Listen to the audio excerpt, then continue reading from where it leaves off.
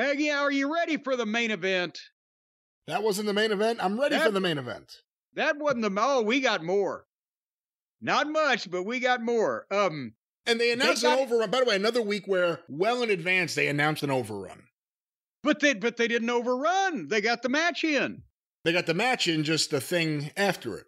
Was there a thing after the match? okay, I did not know that. Let's get to the match.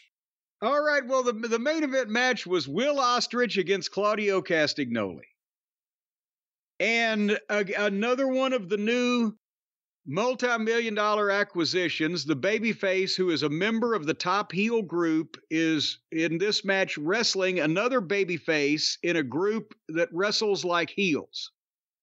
So hope we've we've got that straight now. And again, I like Claudio's work. They've done nothing, you know, they've done nothing with him that anybody wanted to see. Let's put it that way.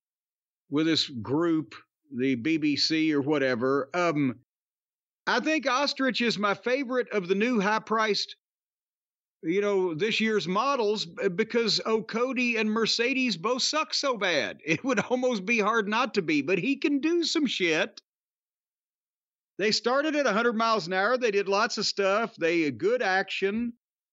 I kind of zoned out because it, you know, the match is odd. And again, these groups that why are, as we'll see in the finish, why is Ospreay still in this fucking thing? Maybe they're going to do something. But he beat Claudio one, two, three. And then Hobbs and Take a Shit and Felcher jumped in and attacked Claudio, and Ospreay wouldn't help him. But then suddenly Moxley's music plays. Here comes the plumber hobbling into the ring. And they get in a sloppy fight, and the last one in is Hobbs, and he kind of beats up Hobbs and bumps him out. And the heels stand there with Ospreay not happy, and the fucking plumber's already stood face to face with Hobbs and beat him up. So I don't know what the fuck to tell you.